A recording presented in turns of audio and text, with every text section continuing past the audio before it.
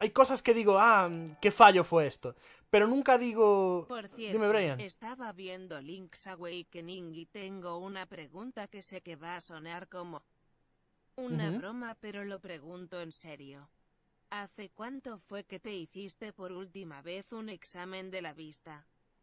¿Estás totalmente seguro que no ocupas anteojos nuevos? No, sí, necesito, necesito gafas nuevas. Eso, eso lo sé. Sé que necesito gafas nuevas.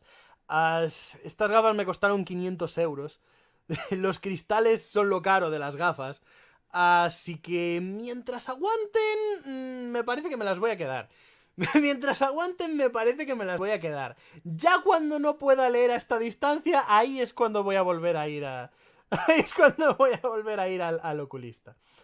Ah, el directo se llamaba Hablando de Relax y nosotros poniéndonos con anécdotas chungas. Ya, tío. 500 euros, pues ¿qué hacen esas gafas? Eh...